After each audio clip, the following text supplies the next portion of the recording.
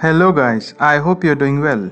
In this video we are going to learn how to enable the dark mode in Samsung Internet Browser. So if you tap on this three bar options, go to settings and in the settings you have this web page view and scrolling, just select that and if you check the option dark mode which is currently turned off, select that option and switch to on or uh, whatever the phone settings you have. For now let's keep it to on and the dark mode will be enabled and all the uh, all the content and the layout will be changed into dark mode.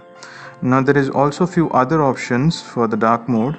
What you can do is you can tap on this three bar option and here in the second row second column you can see the dark theme sites.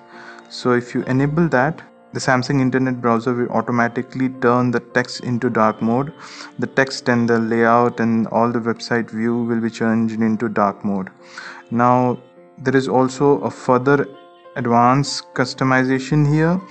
For that you can go to three bar options, go to settings and here the option under the web page view and scrolling you will find there is a high contrast mode just enable this toggle button and go back to the page and you can see the dark mode is further enhanced with more colors which is visually appealing. So in this way you can enable and even uh, enhance the dark mode on your Samsung internet browser.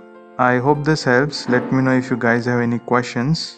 Thank you. Cheers. Have a great day